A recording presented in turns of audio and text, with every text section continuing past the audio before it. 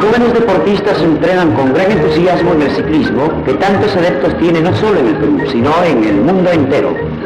Las cómodas pistas circundantes del perímetro del campo de Marte constituyen un adecuado sitio para esta manifestación de atletismo.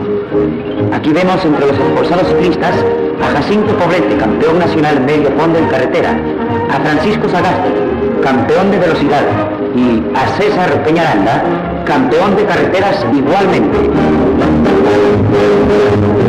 Muchachos pedalean fuerte, dando buen ejercicio muscular a sus recias piernas. Actualmente la bicicleta es el mejor medio de transporte en muchos países del mundo, dado lo escaso que se encuentra el combustible. Son gajes de la guerra,